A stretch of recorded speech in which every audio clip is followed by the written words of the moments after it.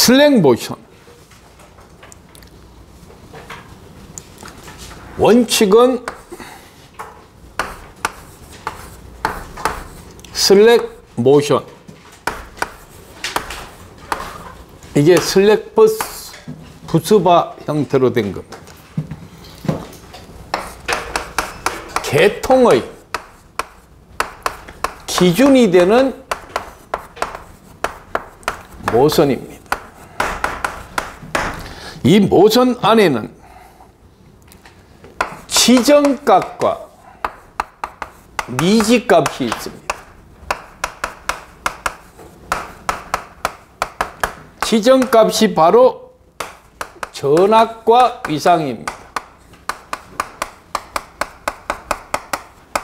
미지정값이 요요전력과 무요전력입니다.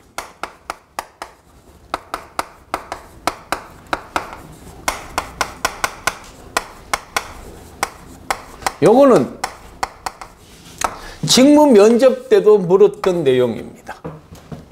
슬랙 모션의 슬랙 버스의 지정값, 전압과 위상각이고 미지정값, 우리가 알아야 될 값이 유효전력과 무효전력입니다. 1번의 답은 4번입니다. 2번입니다. 애자의 정기적 특성에서 추수섬락 전압을 A, 건조섬락 전압을 B, 50% 충격 섬락 전압을 C라고 한다면 큰 것부터 골라라. 우선 애자는 제일 큰 게 유중 파괴입니다.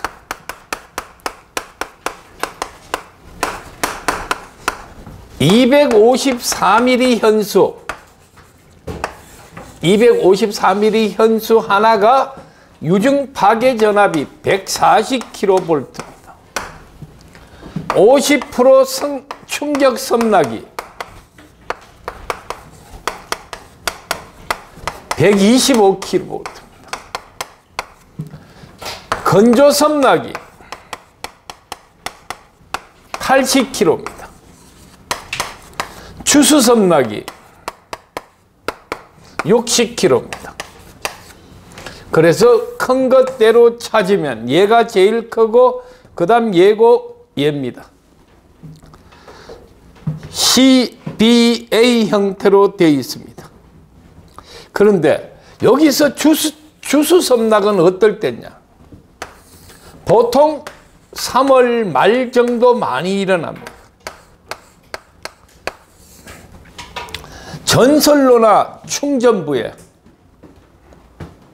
자동차 매연이나 분진이 쌓여 있는 상태에서 약간의 비가 내렸을 때 도체화될 수 있는 확률이 가장 높습니다. 그래서 한전에서 바라보면 3, 4월 달에 주상변압기 사고율이 가장 높습니다. 주수섬락. 약간의 비가 내릴 때의 섬락을 주수섬락이라 합니다. 3번입니다. 특유 속도가 높은 것은 어떤 거냐?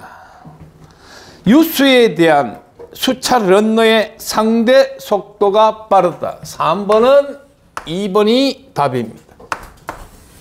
4번입니다. 수차 발전기 수력 발전소에서 수차 발전기를 정지시키고자 한다. 정지 동작 순서는 제일 먼저 무부합니다. 그 다음 발전기 전압을 내리고 수차를 정지시키고 마지막 재수문을 닫습니다. 답은 4번입니다. 무부하 전압 다운 수차 정지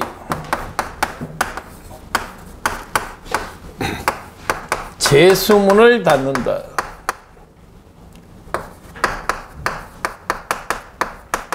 재수문은 뭐 하는 게 재수문? 요량을 조절하는 기능을 갖고 있습니다. 5번입니다.